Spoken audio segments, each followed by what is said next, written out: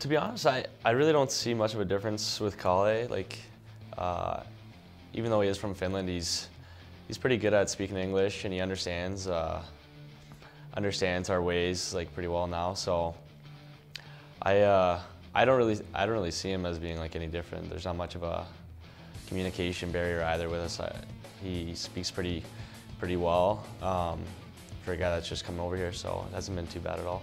Um, well, as soon as he got here, it was a little bit it was a little bit difficult to really communicate because we really didn't know each other that well. But me and him are really great friends. Like we're really great friends. So I, we get each other now. So I mean, I have to explain some stuff two or three times to him, but I mean, it's it's a, it's a lot easier now that we just like understand each other.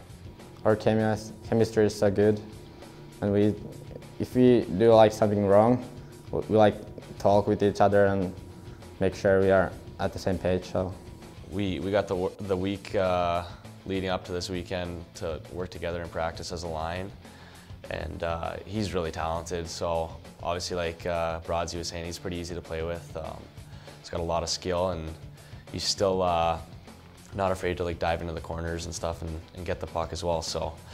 I mean, it's it's been really good so far this weekend. Um, obviously, we we got some goals, which is always good, and um, hopefully we can just build off that.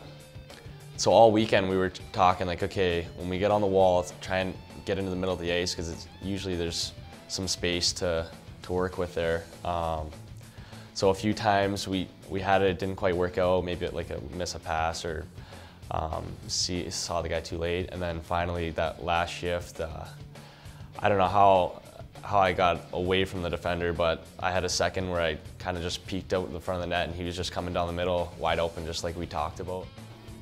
I just came from the bench straight to the game and uh, uh, the Brodzinski had the puck, he passed it to Morley behind the net and Morley just passed it to me. It's pretty easy to just uh, tip the puck to the goal. So. Kossila, the freshman, his first as a Husky!